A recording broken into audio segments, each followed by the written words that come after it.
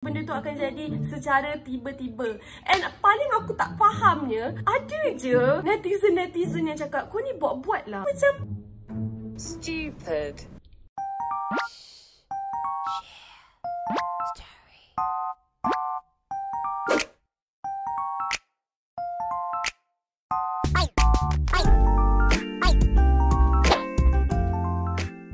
Hi guys, Assalamualaikum. Welcome back to my YouTube channel.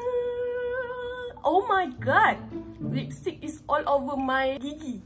Okay guys, so baru-baru ni kalau korang tengok dekat TikTok, korang tengok dekat Twitter, memang sangat-sangat viral pasal satu sindrom yang aku agak berminat untuk ambil tahu dan aku nak bahas dekat video kita hari ni. So nama sindrom tu adalah T O U R E T T E Tourette syndrome.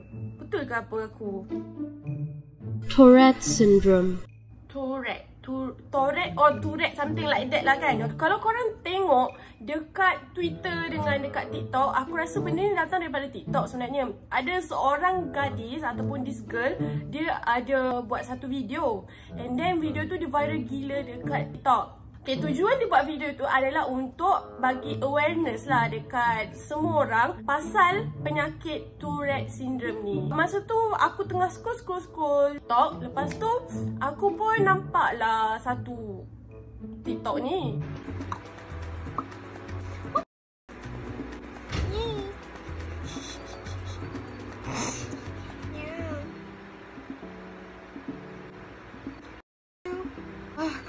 Is supposed to help me with my stress, but why is it stressing me out?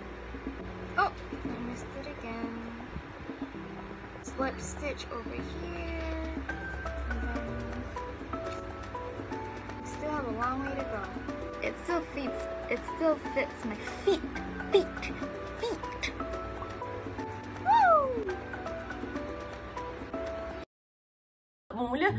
Nampak dia buat crochet tau. Crochet tu macam mengait-mengait kan.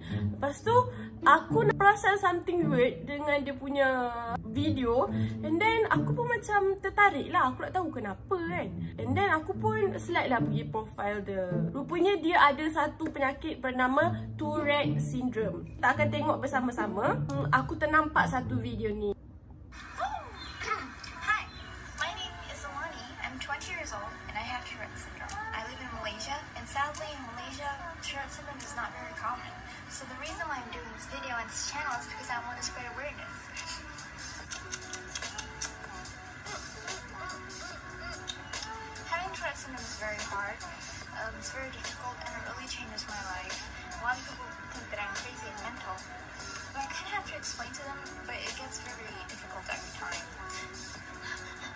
For those Dia of punya you who don't know what tipu. Tourette syndrome is, actually a neurological disorder that causes you to do or say things without you meaning it. So basically, you just do this and that or say this and that without actually wanting to do it. I don't have coprolalia, but I do have acrolelia. But sometimes I do curse, and it really upsets my parents, so I try not to do it. Okay, kalau tengok kat video ni, um, actually aku nak cakap pasal this girl lah first. Okay, so aku rasa this girl ni very very cute and very very cantik.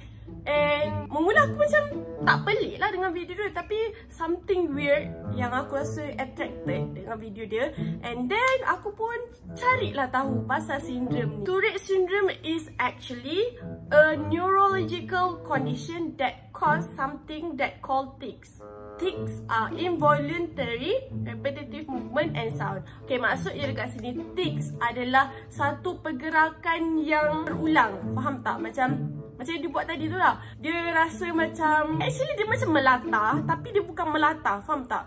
Melata ni boleh hilang dengan sendiri tapi neurological disorder syndrome Tourette ni dia tak ada ubat untuk penyakit ni. Apa yang aku tengok dekat TikTok this girl, dia kata dia selalunya terkena bila dia nervous ataupun dia rasa cemas. Benda tu akan jadi secara tiba-tiba.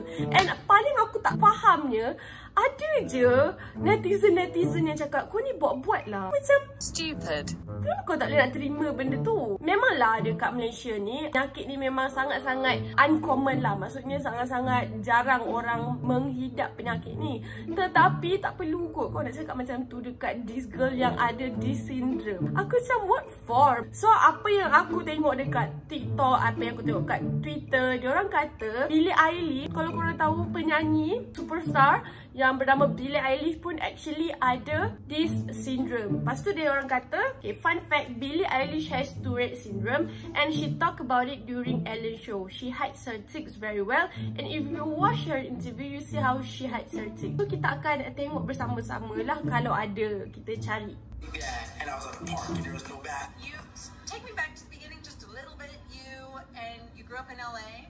You write. I was like, yes, that's it. Like me and my brother high five, like right when we got a thousand because we. Oh my god, you do? Okay, sorry, I just got attacked by fucking fly. best friend's wedding at, at 19 years old. I've never met myself. You've never met yourself. So how can you know what run or have to do something? Yeah, we got, we got, yeah, we got uh, That is like, you know, What, what part of it as well, man, this final question, can, can I assume that you don't really feel present? Some of the songs uh, are very much from your own experience and really, like, how much of yourself do you, and this is gonna sound weird, but how much? What did you do to the crush? words. When we had you in the other day, she recorded Yeah. that whole interview too. that was a funny interview. It was- She was funny. Yeah, I, but I'm, Oh, yeah. even show up. Didn't. Why did you pay the money? I believe, don't worry. Um, Billy, uh, um, um, Billie Eilish in City with the Sarah the Kevin Beach Show. By the way, have to. There's one more teenage question I have to ask. So, you have? Are you done with school already? second guessing. Three uh, sold out shows at the F- amazing, by the way. I'm just special for any artist, but I mean, just to go back and see yours, of course, the Kirok Absolute Almost Acoustic Christmas. Billie Eilish is here. It's here. This is very fun for. Have you Yeah. done any of these radio shows before where you're on with like? I mean, when you do Lollapalooza, Billy, what about? And you're an artist that how quickly. You, Hmm. Okay, kalau tengok compilation tu nampak lah macam dia ada benda tu. Actually, Tourette syndrome ni actually just a penyakit. Benda tu tak bahaya pun. So, here aku nak bagi tahu kat subscriber aku. Kalau korang nampak orang-orang yang macam ni, so please just understand. Sebab before ni aku rasa aku pernah jumpa orang yang macam ni. Tapi dia tak really obvious. Ada seorang sini aku, seorang sini lelaki aku. Aku rasa dia selalu sangat buat something yang repetitive movements yang di call tics ni. Mula aku macam dia kenapa kan? Kenapa dia selalu sangat buat benda ni? Dia saja ke? Tapi sekarang barulah aku tahu rupanya orang yang aku curious ni ada Tourette syndrome. Okay, so aku nak bagi tahu korang, kalau korang nampak someone with this disease yang selalu buat repetitive movement, pergerakan yang berulang macam ni, korang tak payahlah kecam dia. Mungkin dia ada penyakit yang macam ni. Kalau orang tu ada penyakit, kenapa kau nak menafikan benda tu? Kenapa kau nak kena kecam dia pula? Bagi aku, she's really adorable. Hentikanlah kecaman-kecaman ni semua. Please just terima kenyataan. Accept the fact. Can't you? So aku rasa itu saja untuk video aku kali ni. Kalau korang suka video aku jangan lupa tekan like dan jangan lupa tekan subscribe. And bye. Assalamualaikum. Bye.